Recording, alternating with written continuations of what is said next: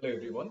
Today we are going to start a new chapter, Design of Gantry Girder. We have sub subdivided this chapter into some parts because of the length of this one. So, so that we can take minute look in each, each and every part of the design. Firstly, we are going to the introduction part. So, first of all, we will discuss on what is gantry girder. So, gantry girder is a part or a crane uh, we have to provide actually to pass on the loads within a factory floor or a shop floor from one side to another. But we cannot give the conventional we cannot give the entry of a conventional crane within the shop floor because there is no such provision and there may be congestion. So we have to provide a overhead overhead traveling crane crane unit within this uh, zone. That is, we have to provide the cranes that, that travels in overhead and which is provided with some pulley system which pull off the loads from one place to another. So let us see the general arrangement so that we can take a good look on it. So you can see here a general arrangement of a gantry girder wherein we can see this is the crane girder this is overhead crane system. This is the crane girder and uh, here the crane the, crane unit is provided with two crane girders and which is supported over the gantry girders say this one is the gantry girder which is provided with a rail above it and it rests with a, with a wheel over the gantry girder this one this crane girder the crane unit.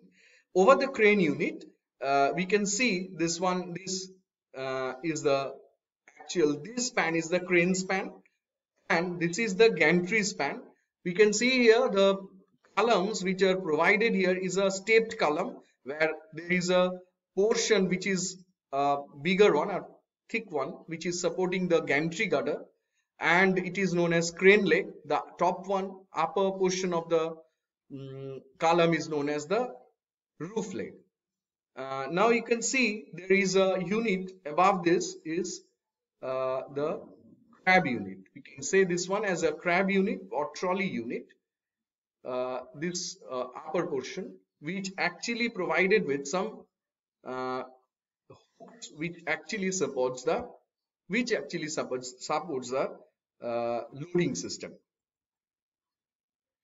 So in this portion we may see here in the next slide say this is the two two dimensional view. Here this dimension is very important. This is known as minimum approach distance or hook approach distance. It cannot be the crab unit or the trolley unit having a movement uh, in horizontal direction in this direction. This is the movement direction of the uh, crab unit or trolley unit. It cannot approach beyond this one because otherwise the, the, otherwise the load may hit on the column and may cause a problem. This is the gantry girder which we are to be we are going to design and which is provided with some rail here. We can see here the rail which is supported uh, supporting the crane uh, gan, uh, crane girder uh, which is provided with some wheels wheels here. You see? And this is the gantry girder. This one is the gantry girder. So we will go to the next slide we will see that there are different types of gantry girder it may be a simple universal beam section or built up section or plate girder like uh, system. Or you may say that it is provided with some wide channel. There is a specific purpose on it. We are coming on this in later. So there there are specific reason beyond this. Sometimes it is provided with some walkway. This walkway is supported by this additional beam. So it it is used as for maintenance purpose now we can see there are many types of arrangement that can be made to support the gantry girder. There may be a stepped, stepped column as we have seen in the general arrangement picture. He, this is this portion is known as crane leg and this portion as roof leg or it, it may be provided with some bracket as it is shown in the two-dimensional figure or may, may be provided with some extension hanger. So it is seen that we have to provide uh, this to support the gantry girder which is subjected to vertical and horizontal load due to the dead loads and the live loads and uh, due to the movement of the crab unit and the trolley unit there may be a uh, impact in the girder which have to be considered. Herein we will see that generally the gantry girder is considered to be designed as a laterally unsupported beam. So for that purpose we generally used to provide a wider top flange. Compression flange is provided wider, wider than the bottom flange because of the compression flange may fail due to instability or buckling uh, in this case. So let us come to the next slide. These are the different types of rails that may be provided. This is the most heaviest rail that we can provide. This is the common rail, general standard rail, and there this is some light rails for light-weighted gantry girder. So we do not use to wage the gantry girder, uh, rail of the gantry girder because we have to make further maintenance due to due to time to uh, due time to time, and we have to maintain the gauge also. Sometimes it is also creating some stress due to thermal expansion. So we have to we have to fix the rail providing clips or clips as it, it is shown here. You can see the clips how it is fixed in the gantry girder so thus it is fixed up but not provided with a rigid welding. The wheelbase distance is also very important uh, terminology which is to be which is to be discussed in this case you will see here that uh, this is the picture that we have sh shown in the very beginning. The crane girder which is provided here it should not go beyond this. This is known as the minimum hook approach distance. This is specific for a specific type of crane. And you will if it if you take a section and see it from this side in this way in this way you will see that the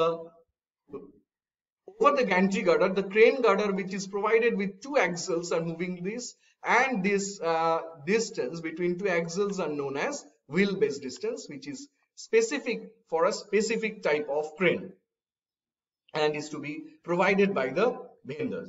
Now the crane is uh, some relevant data to be provided by the vendor which we which was we are talking about which we are talking uh, in just the, uh, in the previous slide. So what are those data? What are those data? Number is number one is crane capacity. That is uh, generally specified by the user and is accordingly supplied by the vendor of the crane. So the crane span what should be the crane span? If the capacity is such say xy what should be the span? That is to be maintained. Weight of the crane that is the dead load of the crane the end carriage or the minimum uh, wheelbase distance. The maximum hook approach distance beyond which it, the trolley cannot move. The alliance of the impact is very important because when while moving with a heavy load a hammering effect due to the vibration shock from slipping of the slipping and sliding and the kinetic action due to the uh, acceleration and retardation of and the impact of the wheel wheel load may cause a dynamic effect. This is to be considered while design. Rail are to be provided in the gantry girder but it does not give any assistance. It is no assistance to the gantry girder it's to be taken into account. Now the forces. Following forces may be considered the vertical load transmitted by the in the lateral load transmitted due to the sudden stopping and starting of the crab or trolley unit, the longitudinal force transmitted due to the sudden stopping and starting of the cranes may be considered. This is a scheme where we can see the self-weight of the crane girder and the self-weight of the trolley unit along with the hook load is to be transferred. It, it causes maximum reaction when it is in minimum approach distance, hook distance and this reaction is transferred to the gantry girder. Along with the other wheel loads, the self-weight of the gantry girder is to be also be considered. There may be surge, cause of surge, horizontal surge due to the movement of the trolley and sudden braking and starting and also uh, a surge due to braking and starting accelerating of the crane girder along in the gantry beam or the girder. So this is to be considered. What are the design steps? So if I sum up the design steps, first of all, approximate assumption of the section has to be done in step 1. Then we have to determine the maximum wheel load which is to be designed for the maximum shear force here and the maximum bending moment to get the absolute maximum bending moment. The wheel load should be placed such that the CG of the wheel, this wheel load system and the CG of uh, and the uh, and the chosen will which may cause the maximum bending moment at the center will be placed such that it should remain at equi equidistance with the CG of the beam. We will discuss it in detail while discussing in the subsequent uh, lectures of the design. So step 3 the section of the gantry girder uh, to be chosen selected and the properties will be calculated the calculation of the property of the section which has been selected then we will go for the uh, check for shear considering shear buckling then for the considering of the bending moment considering local buckling for deflection and providing proper detail. So we have come to the more or less at the end of this lecture. If you see what should be the load combination there should be uh, two different live load. One is accompanying and one is leading what should be the leading load? It should be it should be provided with 1.5 in case of this combination and 1.2 in this combination. And uh, along among the wheel load which is the higher one is known as the leading wheel load. In this case crane load will be the leading load. So if i sum up the highlighting point of this introducing lecture will be it should be it, this is provided in workshop for carrying loads and the moving crane provided with wheel is provided fixed up in the over the rail at the top of the gantry girder it may cause lateral it, it, it is it, it is considered as laterally unsupported beam so top flange is uh, more strengthened. The rail is provided over the gantry which provides no support to the gantry girder lateral force transmitted due to the sudden stopping and starting should be considered and the crane load are to be considered as live load or leading live load. So with this we may conclude.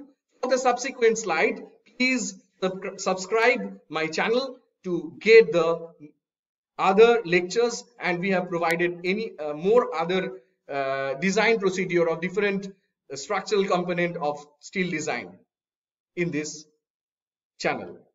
With this hope we are concluding today. Thank you.